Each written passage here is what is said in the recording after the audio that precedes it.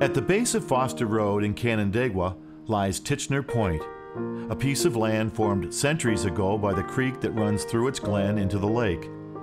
Named for Isaac and Jemima Tichenor of Newark, New Jersey, it was an important area for Native Americans. With the Phelps and Gorham Purchase, the point land passed through the hands of several early families, including Oliver and Laura Phelps.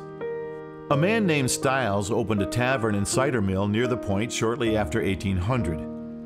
In the early years of the 20th century, two small hotels sprang up to the south. The Walter Rita Hotel and the Red Cedar Lodge drew vacationers to the beauty of Canandaigua Lake. Our Lady of Lebanon Catholic Chapel was erected to service the Catholic cottagers as an alternative to traveling to the city. The chapel was dedicated by Bishop Hickey in 1915. A statue from that chapel was relocated to the east of the retreat house, where it can still be seen today. In 1890, the Tichenors leased the land to Professor Albert Arey of the Rochester Free Academy and Mechanics Institute, now known as the Rochester Institute of Technology, where he established a national science camp for boys at Tichenor Point, modeled on a camp in Worcester, Massachusetts. The camp grew to include 150 boys living in more than 50 tents and featured famous naturalists who spoke there. Water and electricity were piped into the camp that included a large pavilion with stage and even a dark room. The following year, an accompanying camp for girls was started.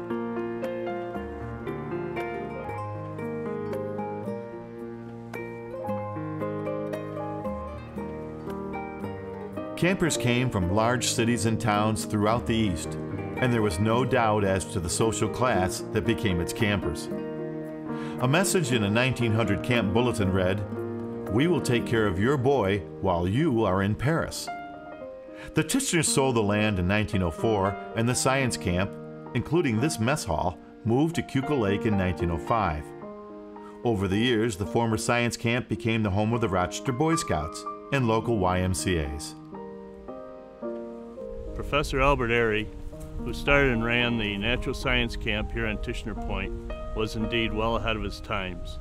Not only did he teach theologies without a book, all uh, it was all field work, but also it was perhaps one of the very first co-ed camps in the United States.